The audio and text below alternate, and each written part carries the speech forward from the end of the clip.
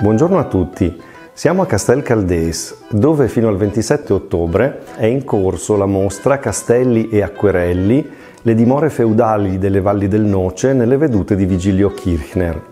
È una mostra dedicata a una serie di 72 vedute di castelli, ruderi, torri medievali, risalente ai primi anni 20 del Novecento che fu realizzata dal pittore trentino Vigilio Kirchner a scopo prevalentemente documentario. Questa serie di vedute fu riscoperta nel 1995 e acquisita l'anno successivo dal Consorzio dei Comuni BIM dell'Adige, che li ha gentilmente messi a disposizione del Castello del Buon Consiglio per questa mostra. L'impresa di Vigilio Kirchner si inserisce in una prassi che era stata inaugurata già nella prima metà dell'Ottocento da una serie di pittori e disegnatori tirolesi volta a eh, documentare lo stato di conservazione dei castelli del Tirolo. La serie di Kirchner è forse l'ultima eh, di, questo, di, questo, genere, ma anche una delle più complete. E poiché si colloca in un'epoca in cui ancora non esisteva la fotografia a colori, conserva la sua valenza documentaria.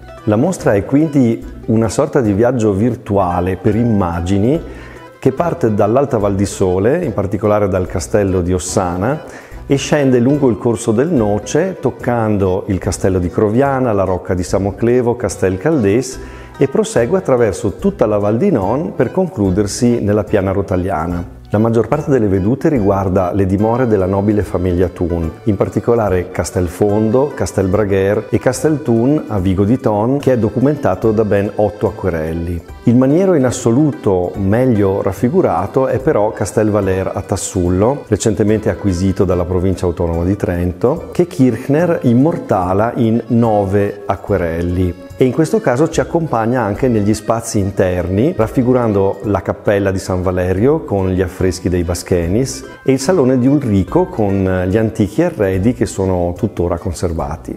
Vigilio Kirchner eh, cresciuto nella Trento di fine Ottocento e molto attivo nell'ambito dell'associazionismo anche musicale. Fu infatti cofondatore del Club Armonia nel 1904 e direttore di una all'epoca famosa orchestra di mandolini. Ma l'aspetto forse più curioso della sua vicenda biografica è un lungo soggiorno in Sudafrica dove insieme al cugino Giuseppe Tanzer fondò una ditta di pittura e decorazione murale e anche un'orchestra internazionale di mandolini che fu attiva a Johannesburg.